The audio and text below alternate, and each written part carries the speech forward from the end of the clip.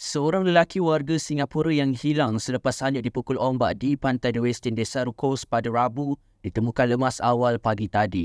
Komander Operasi dari Balai Bomba dan Penyelamat BBP Penawar, penolong kanan penguasa bomba Masri Ibrahim berkata, mayat mangsa yang berusia 49 tahun itu ditemukan oleh orang awam di pesisir pantai pada jam 5.30 pagi.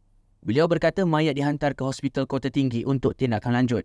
Semalam Masri dilaporkan berkata mangsa bersama anak lelakinya yang berusia 16 tahun dipukul ombak ketika berada di gigi air sebelum dihanyutkan dalam kejadian kira-kira 12.33 tengah hari. Bagaimanapun, remaja terbabit berjaya diselamatkan oleh orang awam dan dihantar ke Hospital Kota Tinggi. Masri berkata lokasi kejadian itu sebelum ini telah pun dikibarkan bendera merah sebagai amaran kepada pengunjung supaya tidak melakukan aktiviti di pantai berikutan faktor cuaca.